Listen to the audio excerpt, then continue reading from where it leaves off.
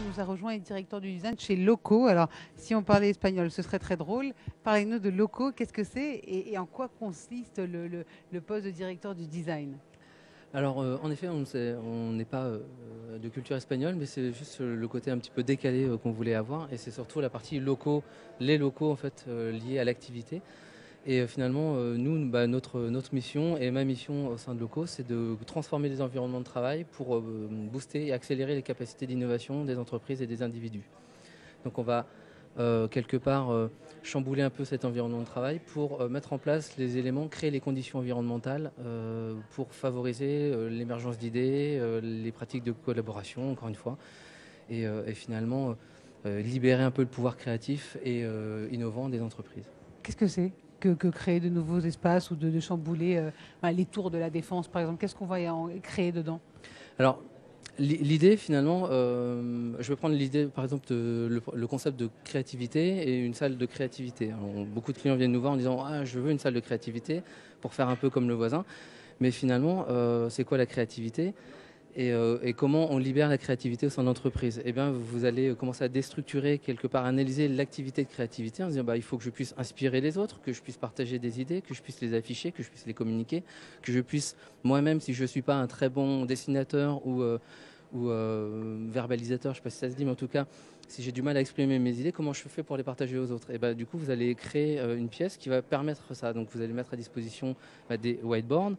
Euh, du digital, donc des écrans pour afficher de l'information, ou de la pâte à modeler, des Lego, pour vraiment... En entreprise Voilà, en entreprise, pour vraiment euh, finalement donner euh, à tous, on va dire démocratiser les moyens d'expression pour que tout le monde puisse bah, exprimer ses idées, tout simplement. Donc vous allez libérer, là c'est vraiment sur la note de créativité, mais nous, on va libérer ça sur, toutes les activités liées à l'innovation, donc la créativité, mais le prototypage, euh, la prise de décision, euh, la gestion de projet euh, peut-être en, mode agile et ainsi de suite. Quel est le projet le plus fou qu'on vous a demandé jusqu'à présent? Alors il y en a eu plusieurs, mais... Mais le, dernier en date, par exemple, on est à Cœur Défense aujourd'hui. Le, dernier en date, c'est pour RTE, où on a fait pour eux donc un Explore Studio. et ils avaient besoin de se réinventer, ou en tout cas d'être en capacité de se questionner sur leur pratique interne, leur métier, leur process. Et donc on a dit que bah, ça serait intéressant pour eux d'avoir un lieu pour expérimenter, pour explorer finalement des nouveaux territoires, métiers. Et donc on leur a donné les moyens de le faire.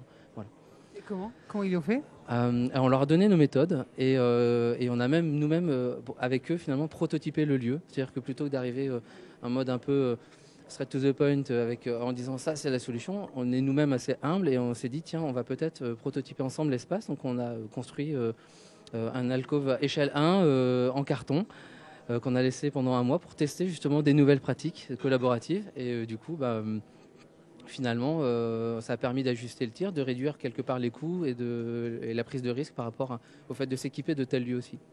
C'est ça la révolution du travail? Oui, je pense, tout à fait. c'est avoir des choses finalement pour lesquelles on n'est pas habitué et, savoir s'amuser et expérimenter des choses, être un peu borderline des fois, mais euh, voilà, savoir explorer, savoir s'amuser. Merci beaucoup King Dupont, directeur du design de chez Loco, euh, une entreprise qui donc révolutionne les grandes entreprises. C'est Cécile Le Gallès qui va nous rejoindre maintenant, fondatrice et directrice générale de YouPro.